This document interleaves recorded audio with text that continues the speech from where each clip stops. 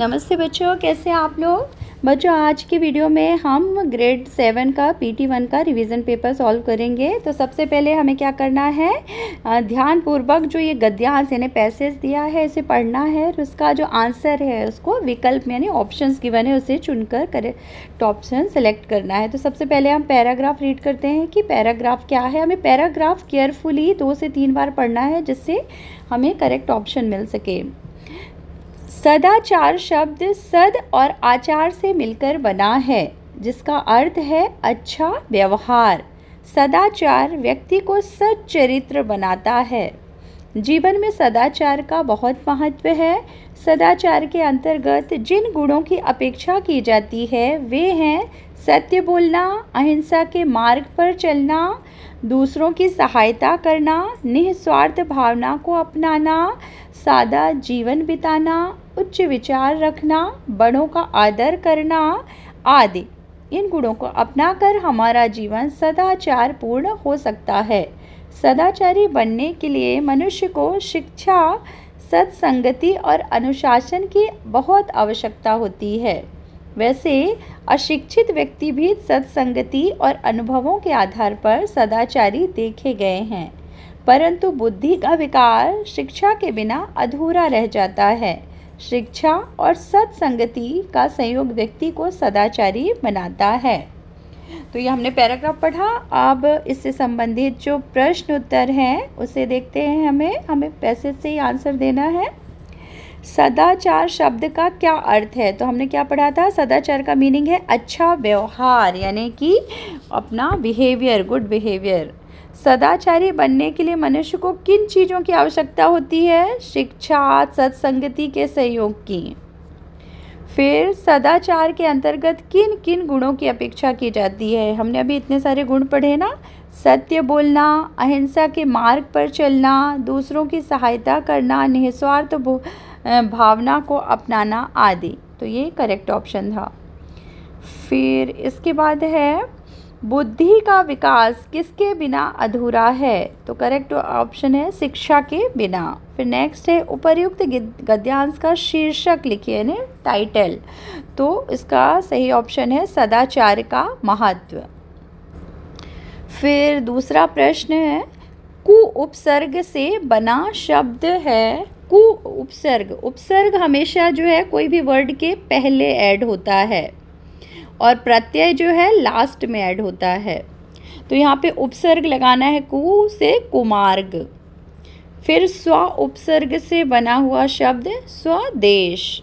फिर नि उपसर्ग से बना हुआ शब्द निकुंज। प्रगति शब्द के में उचित उपसर्ग क्या है? प्रा। यहाँ पे प्रगति में प्रा एक करेक्ट उपसर्ग है। फिर ता प्रत्यय से बना हुआ शब्द, मैंने बताया ना, ता लास्ट में लग, ए, प्रत्यय जो होता है, वो पीछे लगता है लास्ट में ऑप्शन के। तो यहाँ पे ता है मानवता ये करेक्ट ऑप्शन है। फिर इसके बाद है आव प्रत्यय से बना हुआ शब्द। तो आव से बना हुआ शब्द क्या होगा? कटाव इसके बाद है इसके बाद, हमें नेक्स्ट उसमें आई प्रत्यय से बना हुआ शब्द तो क्या होगा? लड़ाई। यहाँ पे प्रत्यय मतलब लास्ट में वो साउंड आना चाहिए। फिर है टहलना शब्द में उचित प्रत्यय क्या है? ना, यानी कि ना। फिर नेक्स्ट उपयोग शब्द में उचित उपसर्ग एवं मूल शब्द। मतलब मेन वर्ड भी क्या है और जिसके साथ में उपसर्ग लगा है पहले। तो यहाँ पे उप जो है, ये पहले उपसर्ग होगा और योग जो है मेन वर्ड है। तो इसका करेक्ट ऑप्शन है उपयोग। फिर बर्फीला में मूल शब्द एवं प्रत्यय। मूल शब्द जो होगा, इला। इला यानी धरती। बर्फ़ यानी स्नो आइस तो ये पूरा बन जाएगा बर्फीला। तो मेन शब्द है इला और बर्फ़ है प्रत्यय। फिर प्रेरणा ने पत्र लिखा। इसमें अब हम क्या है? नेक्स्ट क्वेश्चन का निम्नलिखित वाक्यों में कारक चिन्ह, हमें कारक शब्द हमने पढ़े हैं ना कारक पहचानना है। उसके भेद एवं विकल्पों में मतलब जो ऑप्शन है, उसे हमें करेक्ट ऑप्शन चूज़ करना है। प्रेरणा ने पत्र लिखा में कौन सा कारक है? प्रेरणा ने कर्ता कारक क्योंकि हमने पढ़ा है ना, विभक्तियाँ कर्ता ने कर्म को करण से, संप्रदान के लिए, अपादान से। तो ये कर्ता क्या है? प्रेरणा, और ने क्या, उसने विभक्ति लगी है। फिर रहीम गेंद से खेलता है। तो ये से क्या होगा? करण कारक देखो, से में दो वो आते हैं कारक। एक कर्ता ने कर्म को करण से, अगर करण कारक आएगा तो ये प्लस, विथ के लिए, बाय के लिए। संप्रदान के लिए अपादान से। और अपादान जो कारक होगा, याद रखना, वो सेपरेशन के लिए होगा। ये जो से आएगा, वो सेपरेशन के लिए अपादान कारक। तो यहाँ पे गेंद से खेलता है विद द बॉल यानी कि अपादान कारक। तो यहाँ पे जो होगा, ये गेंद से खेलता है, करण कारक होगा, क्योंकि विद द बॉल है। फिर नेक्स्ट है आसमान से बूंदें गिरी। अब देखिए, यहाँ पे से जो यहाँ पे यूज़ हुआ है सेपरेशन हो रहा है स्काई से। जो ड्रॉप्स वाटर ड्रॉप गिर रही है ना सेपरेट हो रही है, इसलिए आसमान से जो है अपादान कारक है। फिर नेक्स्ट है, सड़क पर गाड़ी खड़ी है। तो यहाँ पे क्या होगा, सड़क पर जो है अधिकरण कारक आप कारक की विभक्तियाँ सारी याद कर लेंगे तो अपने आप बन जाएगा। में, पर, को, ये सब जो होगा अपादान के लिए, अधिकरण के लिए सॉरी अधिकरण कारक होता है। फिर नेक्स्ट है, माँ बच्चे को सुला रही है। तो ये कौन सा कारक है? कर्म कारक, क्योंकि माँ जो है, करता है और क्रिया है सुलाना। और ऑब्जेक्ट क्या है? बच्चा। तो बच्चे के ऊपर इफ़ेक्ट पड़ता है, इसलिए ये कर्म कारक है। माँ बच्चे को सुला रही है तो बच्चे को कर्म कारक है। फिर नेक्स्ट है, निम्नलिखित प्रश्नों के उत्तर, एक वाक्य में लिखे हमें वन सेंटेंस में आंसर देना है। युग की नई मूर्ति रचना का क्या अर्थ है? उत्तर, युग की नई मूर्ति रचना का अर्थ है युग का नया निर्माण। मतलब एक नए एरा का, नए युग का न्यू क्रिएशन नया क्रिएटिविटी होना, इसका एक नए युग की रचना, यानी युग का निर्माण होना। फिर कविता इतने ऊँचे उठो के अनुसार जीवन का निरंतर सत्य क्या है? तो उत्तर है, जीवन का निरंतर सत्य गति है। मतलब आगे बढ़ते जाना है हमें, निरंतर कंटिन्यूटी होना चाहिए। उसमें आगे बढ़ना है, यानी उसकी गति मूवमेंट परदेसी ने शिशुपाल का दरवाज़ा क्यों खटखटाया? उत्तर, परदेसी को रात बिताने के लिए जगह चाहिए थी, इसलिए उन्होंने शिशुपाल का दरवाज़ा खटखटाया। फिर नेक्स्ट शिशुपाल ने सम्राट को दंड क्यों नहीं दिया क्यों दिया? उत्तर, शिशुपाल ने सम्राट को दंड दिया क्योंकि सम्राट ने सरकारी कर्मचारी, यानी जो सरकारी कर्मचारी पहरेदार था, उसकी हत्या कर दी थी। फिर नेक्स्ट जो है, अभी हमने वन वर्ड में आंसर दिया। अब क्या करना है? थोड़ा एक से दो लाइन में लिखना है हमें। यानी कि बीस से पच्चीस शब्दों में। कविता इतने ऊँचे उठो के अनुसार समाज में परिवर्तन कैसे आएगा? तो उत्तर है समाज में परिवर्तन नई विचारधारा से आएगा।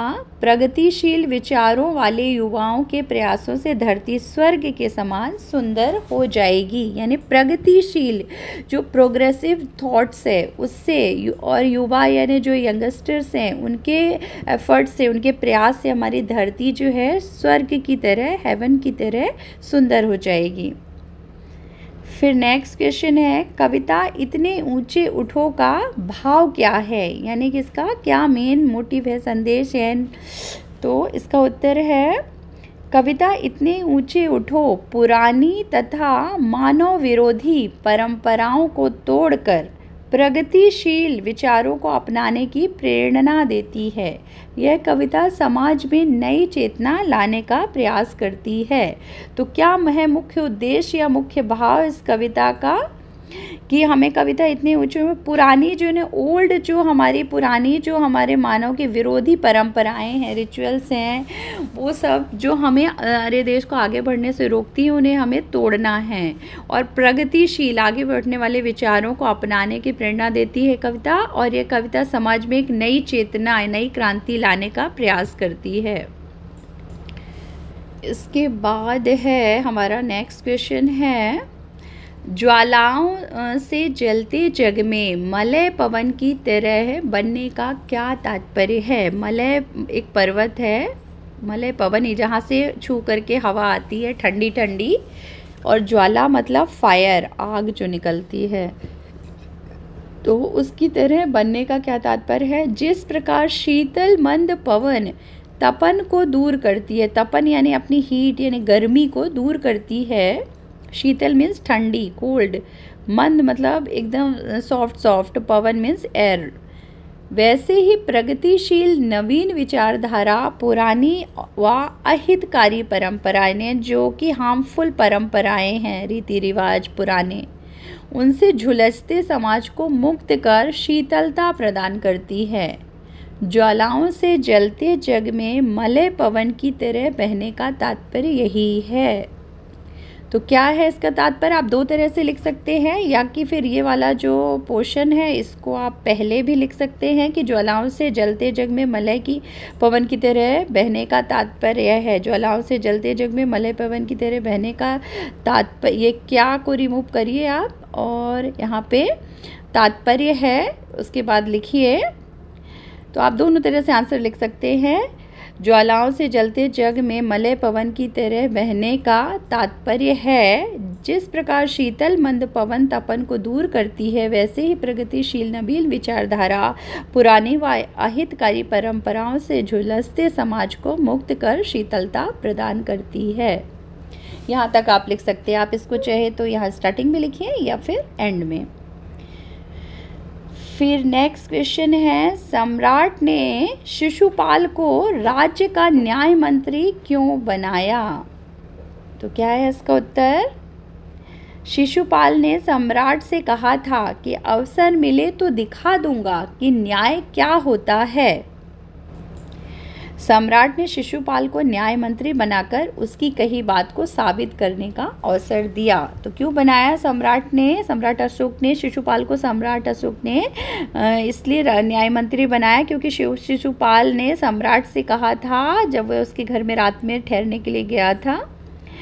कि अवसर मिले तो मैं दिखा दूँगा। अगर मुझे कोई चांस मिलता है तो मैं दिखा दूँगा कि सही जजमेंट क्या होता है जस्टिस क्या होती है, न्याय क्या होता है। सम्राट ने शिशुपाल को न्याय मंत्री बनाकर उसको यही मौका दिया, यानी यही अवसर या चांस दिया। फिर इसके बाद है अभी संवाद लेखन है इसमें। इसको आप अपने अकॉर्डिंग कुछ भी लिख सकते हैं। डॉक्टर और मरीज़ के मध्य 40-50 शब्दों में संवाद लिखिए या फिर बैडमिंटन खेल के विषय में दो खिलाड़ियों के मध्य 40-50 शब्दों में संवाद लिखिए। तो देखिए, यहाँ पे जैसे डॉक्टर और मरीज़ यानी रोगी, रोग, मरीज़ के प्लेस में कोई रोगी का ना, रोगी भी आ तो क्वेश्चन में डॉक्टर और मरीज़ या डॉक्टर और रोगी के बीच संवाद लिखना है। तो चलिए देखते हैं हम। बहुत ही सिंपल वे में आप अपने अकॉर्डिंग लिख सकते हैं, जिसे अच्छे से हिंदी नहीं आती है, नहीं तो भाषा शैली अगर ज़्यादा डिफ़िकल्ट हो जाएगी तो फिर बच्चों को लिखने में दिक्कत होगी। तो मैंने एक छोटा सा प्रयास किया, इसे समझने की कोशिश कीजिए। रोगी बोलता है, सबसे पहले, सर, क्या मैं अंदर आ सकता हूँ या आ सकती हूँ? जैसे कि हम बोलते हैं ना मे आई कम इन सर जैसे कैबिन में अंदर जाने के पहले वैसे ही रोगी पूछता है। फिर डॉक्टर कहते हैं, जी यस आ जाइए प्लीज़ कम इन रोगी बोलता है नमस्ते डॉक्टर साहब। फिर डॉक्टर बोलता है नमस्ते बताइए यहाँ नमस्ते बताइए मैं आप आपको क्या तकलीफ़ है? तो रोगी कहता है कि डॉक्टर साहब मुझे आ, कल रात से जुकाम और बुखार हो रखा है।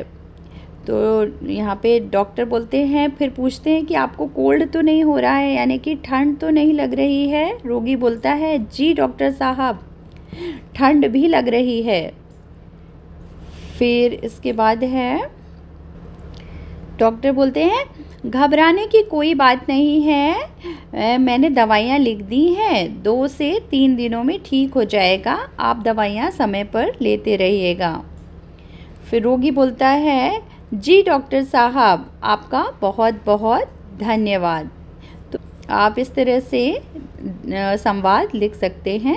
जैसे कि पहले अब एक बार मैं फिर से आपको पढ़ के बता देती हूँ कि जैसे डॉक्टर और रोगी के बीच में कोई मतलब एक सिंपल सा आपको कोल्ड और फीवर है तो आप डॉक्टर के पास जाते हैं तो डॉक्टर से किस तरह से टॉकिंग करेंगे? तो रोगी बोलते हैं सर क्या मैं आपको आ, अंदर आ सकता हूँ या आ सकती हूँ? गर्ल है तो आ सकती हूँ और बॉय है तो आ सकता हूँ लिखना है। फिर डॉक्टर बोलता है जी यस आ जाइए। फिर रोगी बोलता है नमस्ते डॉक्टर साहब। डॉक्टर बोलते हैं, नमस्ते, बताइए क्या तकलीफ़ है? रोगी बोलता है, डॉक्टर साहब, मुझे कल रात से जुकाम हो रखा है और बुखार हो रहा है। तो डॉक्टर बोलते हैं, आपको ठंड तो नहीं लग रही है, आपको ठंड, यानी कोल्ड तो फील नहीं हो रहा है। रोगी बोलता है कि जी डॉक्टर साहब, ठंड भी लग रही है। यस डॉक्टर साहब, मुझे शिवरिंग हो रही है और कोल्ड भी फील हो रहा है। फिर डॉक्टर बोलता है, घबराने की कोई बात नहीं है। मैंने दवाइयाँ लिख दी हैं, मेडिसिन लिख दिया है, प्रिस्क्रिप्शन में दो से तीन दिनों में ठीक हो जाएगा और आप दवाइयाँ जो हैं ऑन टाइम यानी समय पर लेते रहिएगा। फिर रोगी लास्ट में डॉक्टर को बोलता है, जी डॉक्टर साहब, आपका बहुत बहुत धन्यवाद। सार डायलॉग राइटिंग था, इस तरह से आप लिख सकते हैं।